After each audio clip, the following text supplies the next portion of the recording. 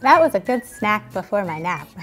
ah, I feel a bit heavy. I didn't eat that much.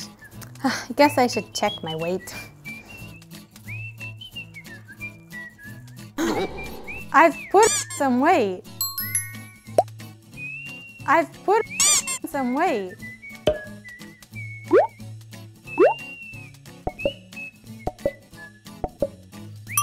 I've put on some weight. Oh no. It'll go back down.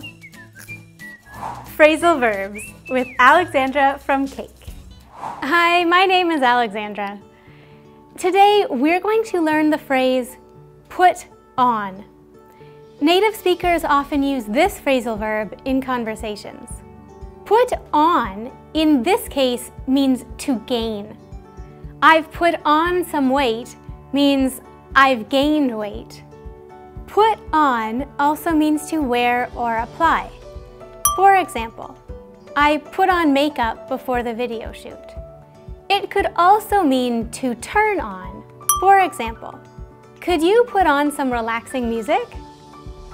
Now you know the phrasal verb put on. How about put in?